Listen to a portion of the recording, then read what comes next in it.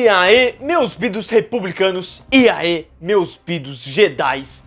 Bom, galera, hoje estou aqui para comentar sobre uma nova edição mensal que começou a sair aqui no Brasil pela Panini sobre a Alta República, uma história no mundo de Star Wars que aconteceu bem antes das prequels, da Nova Esperança e de toda essa franquia envolvendo a família Skywalker que a gente viu ganhando vida nos cinemas. Então, era um quadrinho que eu tinha curiosidade, até porque era um quadrinho bem falado sobre uma era, né, onde os Jedi se prosperavam em relação à alta realeza e que então estavam saindo várias edições e eu quis pegar meio que um arco, né, ver quanto que dava ali de um arco onde, sei lá, futuramente saísse em capa dura aqui pelo Brasil e dar a minha própria opinião sobre o que eu achei deste arco envolvendo a Alta República. Então bora lá comemorar o dia de Star Wars May the 4th be with you com Star Wars The Rye Republic. O luz estelar é um símbolo de esperança para toda a galáxia, um símbolo de confiança, de unidade. Quando se sentirem sozinhos, quando a escuridão se aproximar, ouçam nosso sinal e saibam que a força está com vocês. Saibam que nós estamos com vocês. Esta é a nossa promessa. Este é o nosso pacto. Pela luz e pela vida. A história das edições 1 a 12 acompanha exatamente os Jedi lançando um novo sistema intitulado Luz Estelar, que busca ficar a par de tudo que está acontecendo na galáxia. Dessa maneira, os grandes protetores vão poder ficar a par de tudo que está acontecendo e impedir algum acontecimento ruim ou algo do tipo. Em meio a isso, acompanhamos a história da Padawan Kiv Trennis, buscando encontrar o seu lugar, perder a sua insegurança e chegar mais próxima de ser como seu mestre, Skir. Contudo, aos poucos ela vai notar que algo está errado e seu mestre talvez não seja o melhor exemplo a se seguir. Ao mesmo tempo que certos conflitos começam a surgir e desafiar a capacidade dos únicos seres capazes de enfrentá-los. Algo que particularmente gostei muito foi a retomada na crença pela força, não só por ter uma frase diferente daquela que estamos habituados a ouvir, que seria que a força esteja com você, como pela maneira diferente dos personagens agirem e pensarem em prol da força, como se fosse Deus, algo que não só torna curioso qual vai ser a resolução da aventura em que os personagens se metem, como também traz uma ideia de iluminação que os personagens, os personagens têm dentro da cabeça deles, entendeu? Assim, em cima da cabeça deles, na verdade. Tanto que eles estão sempre pensando na força como algo que, se a força estiver a favor de você, as coisas vão acontecer, as coisas vão se concretizar, entendeu? Se a força estiver do seu lado. Ao mesmo tempo que tem aquele lance de que, se a força estiver do nosso lado neste momento, tudo pode dar certo, sabe? Aquela crença de que de, de pensamento de que a força esteja do nosso lado neste momento, entendeu? Porque se ela não estiver do nosso lado, a gente vai. Já era, é outro caminho, entende? E essa ideia sobre a força é algo que eu gosto muito, é algo que eu acho bem intrigante. Eu, eu, vejo uma beleza a partir disso, que eu acredito até que foi uma ideia que o George Lucas trouxe no seu primeiro filme da Nova Esperança e que foi se perdendo com o tempo, onde a força acabou se tornando mais algo que você tem que dominar ou ter como um poder do que em si uma crença para se crer e que se você crê o suficiente você tem algo, um ganho a partir disso. Algo que brinca bem mais com a ideia é, relatada e colocada no filme Rogue One, o que eu gosto bastante. O roteiro de Kevin Scott é bem legal. Eu acredito que seja dinâmico, bacana, com o time certo para introduzir ação ou revelação além de brincar com o espaço de tempo que pode acontecer, remetendo bastante aos filmes que tinham esse lapso temporal de um para o outro, o que traz curiosidade para pensar no que pode ter acontecido com tal personagem ou gera aquela dúvida do porquê alguém está agindo de tal maneira. Mesmo assim, não deixa de ser simples e pouco instigante no geral. Mesmo que você se esforce para conhecer um novo lado de Star Wars, a história pouco chama a atenção e demora para mostrar a que veio. Eu estou vendo todos bem da vida, mas eu quero saber quando vai chegar aquele momento em que a Ordem Jedi com a política errada será criada e vai dar na merda que deu. Durante a leitura, ficou perceptível uma clara busca de trazer maior representatividade para o universo de Star Wars, e é uma ótima oportunidade para tal, já que não é um tempo a qual estamos acostumados, além de ser uma era de ouro, ou seja, os oprimidos eram exaltados. Na real, nem isso, porque felizmente todos são tratados da mesma maneira, não importa a aparência, a vestimenta ou a mudança na língua. Aparecem poucos homens no quadrinho. As protagonistas são mulheres, incluindo a principal sendo negra. Daria para dizer que num todo, ela é uma bela mistura da Rey com o Finn. Além de termos a apresentação dos primeiros seres não binários que já vi no universo dessa galáxia tão distante, que seriam Seret e Terek proporcionando esse costume na leitura de entender como pessoas que se consideram neutras em sua sexualidade dialogam e gostariam de ser chamadas. O mais legal de acompanhar Star Wars em quadrinhos é ver o que não se pode ver em desenhos ou filmes, ou seja, o que o personagem enxerga em determinados momentos, como ele controla totalmente a sua força, o que ele pensa, além da parada mais legal e que aconteceu em apenas uma página, mas eu queria ter visto bem mais, que é a conexão com a força. Nos filmes, o personagem fecha o olho e o público fica lá esperando ver quando que ele vai abrir de novo, entendeu?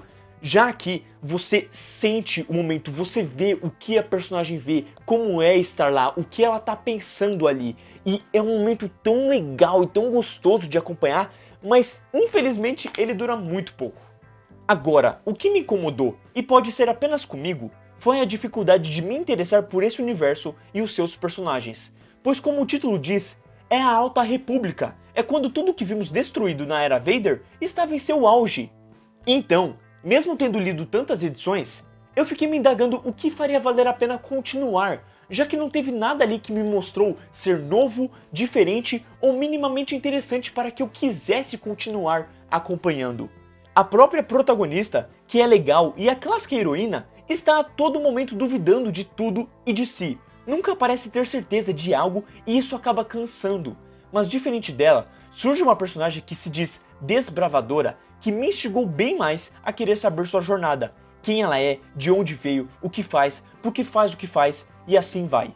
Dessa forma, a dúvida sobre continuar ou não a leitura permanece. Por mais que eu esteja conhecendo um novo lado e mundo de Star Wars, não tem nada ali que me leve a querer continuar mais, como eu disse, a protagonista eu acho que ela não é tão instigante como ela poderia ser, como a desbravadora é, e eu acredito que os personagens em si é o que deveria estar me fazendo querer ler mais, entendeu? Eu acho que mesmo que quando um roteiro ou uma história seja ruim, os personagens, se eles são bem construídos, se eles são bem interessantes, você quer continuar para ver a jornada deles, entendeu? Onde aquilo vai dar com os personagens. Eu acho que até um, um, um, ótimo bom exemplo é o Boba Fett e o Mandaloriano. O Boba Fett é um personagem que ele não te instiga, ele não tem carisma, ele, ele não te interessa o passado dele, o que tem na vida dele. Enquanto o Mandaloriano é um personagem que você quer ver mais, você quer ver na onde que aquilo vai dar, você vê que, mesmo que você saiba o passado dele, mesmo que você vê o rosto dele, tem algo nele que te instiga a querer continuar acompanhando a jornada dele. E é isso que eu acho que eu sinto falta aqui. Além de que tem algo me batendo uma dúvida, porque assim, a cada final de edição aparece assim: ah, na próxima edição, volume 2, e aí tem a capa da próxima edição. E a edição 5, que é a última que eu tenho aqui, aparece: ah, próxima edição, volume 6. Só que assim, essa edição 5 já saiu faz uns meses. E se eu não me engano, as edições estavam saindo mensalmente.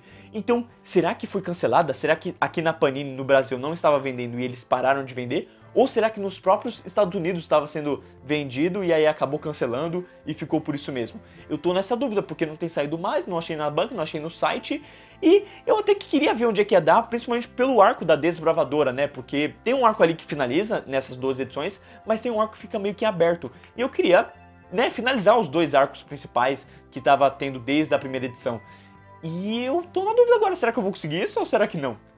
De qualquer forma, a arte principal de Ario Anendito é fabulosa. Ela simplesmente explana a beleza de Star Wars. Os personagens parecem perfeitos, as raças ali são daquelas já vistas, seja num desenho ou nos jogos. Os locais que os personagens habitam são belíssimos e as cenas de ação são facilmente entendíveis. Essa arte é perfeita para a narrativa e o mundo de Star Wars. Mas infelizmente, o mundo dos quadrinhos gosta de ficar variando e por isso Vez ou outra temos as edições ilustradas pelo George Gent, que até tenta chegar à altura, mas rapidamente incomoda pela clara mudança de estética e visual, trazendo uma assinatura mais rabiscada e comum, remetendo a algo mais urbano, o que eu acho que não combina tanto com esses Jedi's, principalmente da Alta República. Combinaria mais com o lado da galera de Rogue One, que é mais sujo e pé no chão. Mas, se vale destacar, Há um gafe envolvendo a arte de Ario que se envolve com o hiperespaço. Ele desenha um espaço praticamente normal quando os personagens estão afirmando que eles estão no hiperespaço. Algo que diferencia da arte de George, que quando faz o hiperespaço, traz a sensação de você estar ali vendo o hiperespaço. Então eu senti que o Wario cometeu esse gafe de, sabe, ah, estamos no hiperespaço, mas você só tá vendo o espaço normal ali. Enquanto George te traz a sensação de como se você estivesse ali vendo o hiperespaço acontecer. Algo que acontece muito bem no jogo Jedi Fallen Order.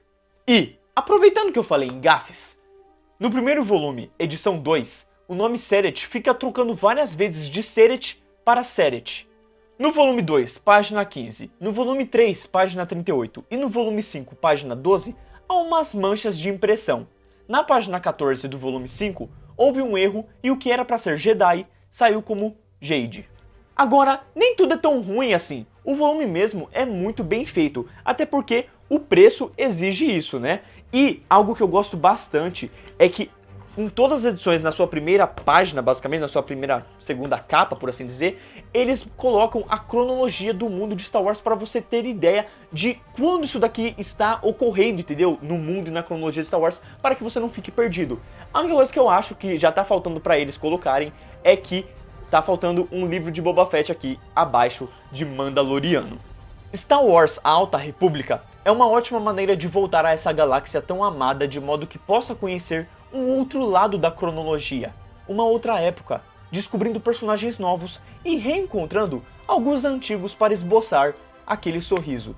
O quadrinho apresenta uma trama que diverte, que não é cansativa, mas que pode sofrer pela falta de algo que prove o valor de sua existência mesmo que determinados caminhos diferentes e misteriosos sejam vistos por aqui. A esperança por um amanhã melhor continua intacto, e a representação de tudo que os Jedi deveriam ser faz jus ao título do encadernado.